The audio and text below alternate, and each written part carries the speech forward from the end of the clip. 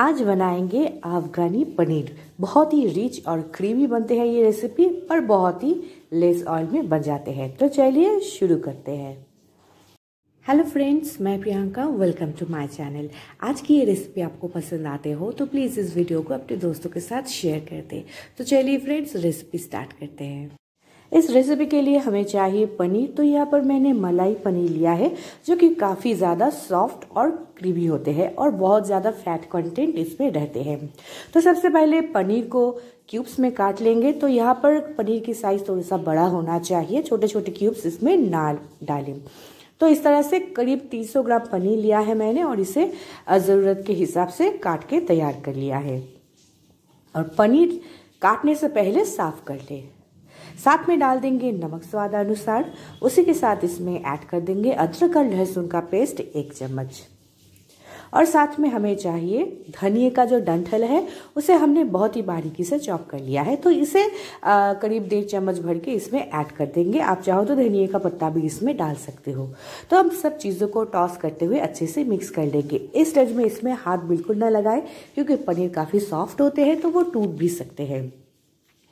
तो ऐसे टॉस करते हुए हमें सभी चीज़ों को आपस में अच्छी तरह से मिक्स करके तैयार कर लेना है।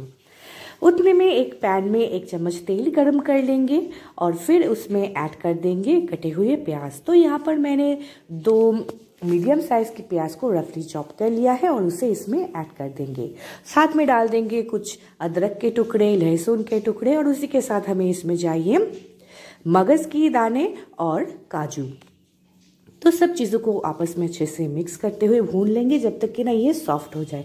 मतलब जब तक प्याज सॉफ्ट हो जाए, तब तक हमें इसको मीडियम लो फ्लेम पे भून के तैयार करना है और इसका कच्चापन हमें दूर करना है।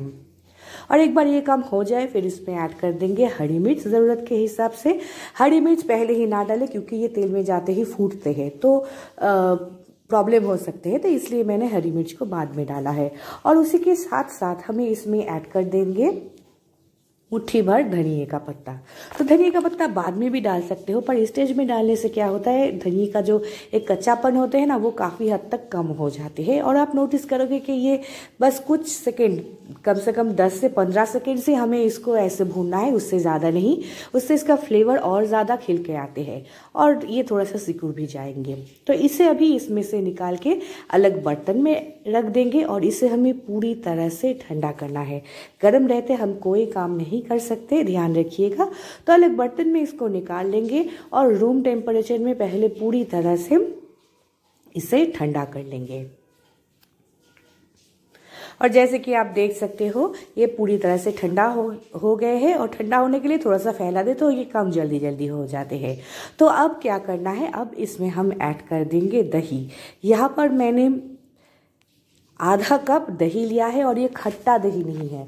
खट्टा दही इसके लिए बिल्कुल ना ले। तो आधा कप दही हम इसके अंदर डाल देंगे और इसको एकदम स्मूथली पेस्ट करके तैयार कर लेंगे। इसका हमें एकदम स्मूथ पेस्ट चाहिए। ध्यान रखिएगा, दरदरा नहीं। तो स्मूथ पेस्ट बनाकर मैंने तैयार कर लिया है। अब इसमें थोड़ी सी मसाला हम ऐड कर देंगे। तो इसके लिए यहाँ पर मैंने लिया है धनी नमक स्वाद अनुसार उसी के साथ डाल देंगे एक चम्मच धनिए का पाउडर।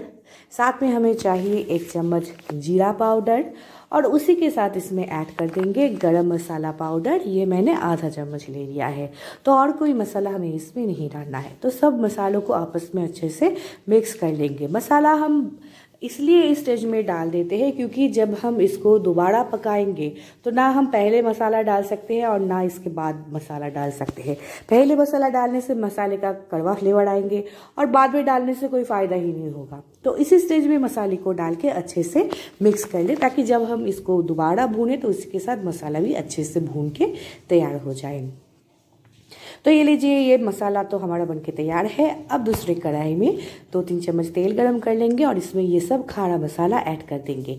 यहाँ पर मैंने लिया है दालचीनी के टुकड़े, इलायची, लौंग, साथ में हमें चाहिए तेज पत्ता और उसी के साथ थोड़ी सी जीरा और कसूरी मेथी। तो इन सब चीज़ों को पहले डाल देंगे, इसे थोड़ा सा स्प्लैटर होने देंगे और साथ में डाल देंगे कश्मीरी लाल मिर्च का पाउडर, आधा चम्मच। ये कलर के लिए मैंने डाला है, पर ये ऑप्शनल है।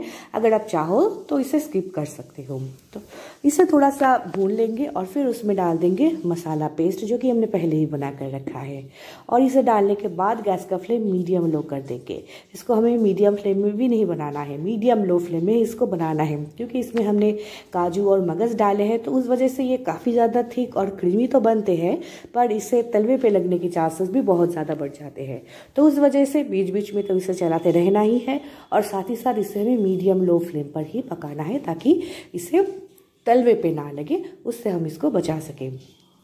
तो थोड़े थोड़े देर बाद इसे भूनते हुए हमें इसमें से तेल रिलीज़ करना है। पहले तो इसे अच्छे से मिक्स कर देंगे और उसके बाद इसे ढक्कन लगाकर छोड़ देंगे, जब तक ना इसमें से तेल साइड से रिलीज़ होने लगे। मतलब ये अच्छे से पक जाए, तब तक हमें इसको ऐसे ही छोड़ देना है। और जब तक ये तैयार होते हैं, एक पैन में एक चम्मच घी गरम कर लेंगे। और घी गरम होते ही इसमें डाल देंगे मैरिनेटेड पनीर के क्यूब्स तो ये काम आप तेल में भी कर सकते हो, पर घी में करने से इसका फ्लेवर और ज़्यादा अच्छे आते हैं। आप बटर में भी इसे बना सकते हो। तो इसे हमें फ्राई करना है। मतलब एकदम कुड़कुड़ा फ्राई नहीं, बस हल्का सा सौते करना है ताकि दोनों तरफ़ से हल्का हल्का कलर आ जाए ऐसे। तो उतने स्टेज तक हमें इसको फ्राई करना है। एक बार एक साइड हो जाने के बाद इसे हमें दूसरे साइड पे पलटना है। काफ़ी सॉफ्ट होते हैं पनीर तो हमें ये काम बहुत ही सावधानी से करना है। जल्दबाजी इसके लिए बिल्कुल भी ना करें। तो ये हो जाए उसके बाद इसको हम साइड में रख देंगे। ये हमारा पनीर का काम हो गया है। अब ग्रेवी की ओर चलते हैं हम। आप देख सकते हो ग्रेवी अच्छे से थिक हो गए हैं। साइड में से तेल भी छूट रहे हैं। मतलब हमारा जो ग्रेवी है, वो पूरी तरह से बनके तैयार हो गए हैं। तो इस स्टेज में थोड़ा सा चला देंगे। ताकि ये तलवे पे ना लगे और फिर उसमें ऐड कर देंगे फ्रेश क्रीम। तो यहाँ पर मैंने एक चौथाई कप फ्रेश क्रीम लिया है। आप चाहो तो घर की मलाई को फेंट कर भी इसमें डाल सकते हो। इसे डालने के बाद इसे अच्छे से मिक्स कर देंगे। इससे डालने की वजह ये है कि ये और ज़्यादा थिक और क्रीमी बनते हैं और इसका फ्लेवर काफ़ी ज़्यादा अच्छे आते हैं। पर अगर आपके पास ये ना हो तो आप इसे स्किप भी कर सकते हो, क्योंकि वैसे ही काजू और मगज़ की वजह से ये काफ़ी ज़्यादा थिक और क्रीमी बन जाते हैं।